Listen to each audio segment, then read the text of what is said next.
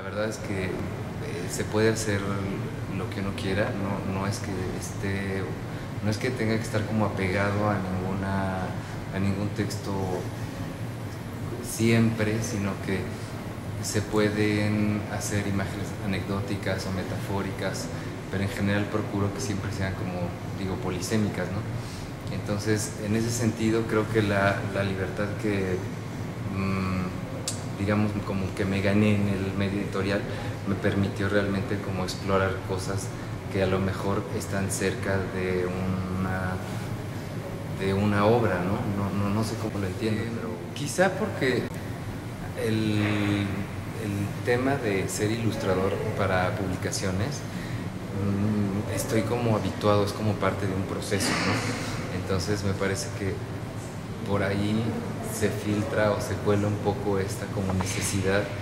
de mm, no de plantearme proyectos personales o demasiado introspectivos, sino a partir de otras, ¿no? Entonces tengo otro referente como pretexto y eso sirve como para desarrollar otras ideas. Mira, no sé, creo que es un poco de personalidad, ¿no? O sea, tal vez a veces contengo demasiado las cosas y cuando salen, sí salen con mucha intensidad. También, no sé, digo, creo que sí es cuestión de, como de personalidad, ¿no? A mí sí me maravillan mucho, muchas cosas me, me emocionan, así digo, de repente me siento como niña chiquita, ¿no? Así que brilla y wow, me quedo ahí pasmada, ¿no?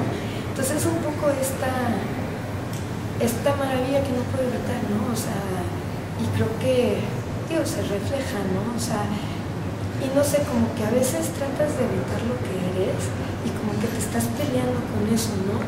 Y no sé, ahora, a partir de una serie que hice como muy catártica, de cuando empecé a hacer las exclusiones, como que he sentido que es como, como si fuera sano, ¿no? O sea, como dejar salir lo que tú eres sin y muchas veces hasta investigar partes de, o bueno, yo la pintura la, uso mucho como para descubrirme a mí misma también, ¿no? o sea, partes que por, no sé, cuestiones sociales por cómo creciste, muchas cosas, no te atreves a verlas desde otro lugar. Y aquí no sé si me doy el chance de, pues, de soltarme, ¿no? O sea, y también no sé, como lo haces tú solo y estás así como muy como muy en tu mundo, no se me dan más permisos. Que luego ya salen acá y ya no sabes qué hacer con ello, ¿verdad? Pero bueno, ya es como pues, parte de lo que les corresponde.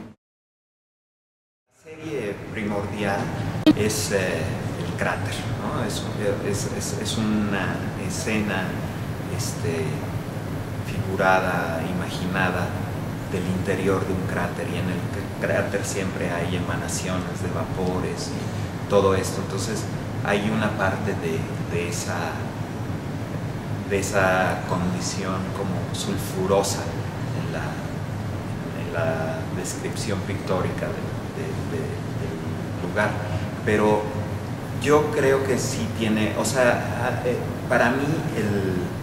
Eh, mucha de la pintura, o sea, todo mi, aprendizaje pictórico ha sido viendo pintura.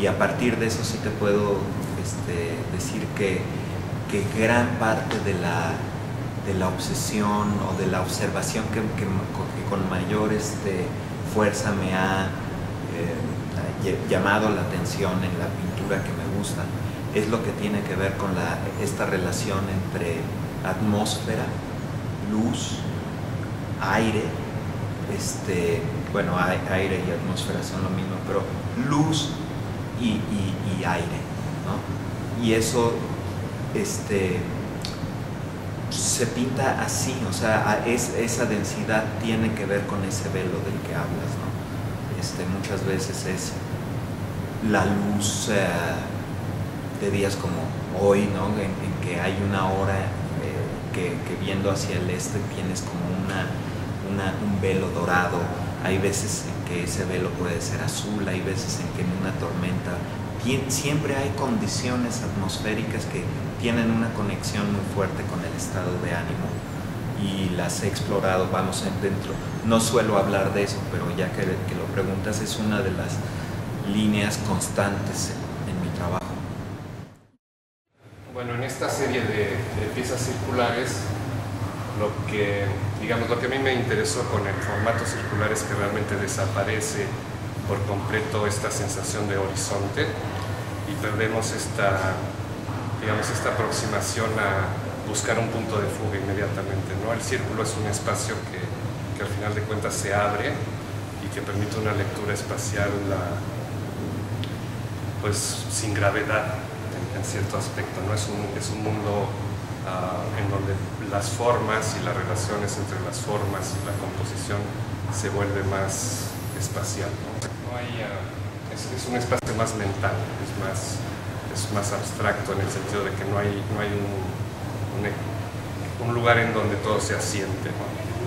Y eso también hace que una vez que pones las piezas en el espacio en donde van colgadas, pues la, las formas tienden a expandirse y se ha, hay una relación más activa, digamos, con el espacio exterior también.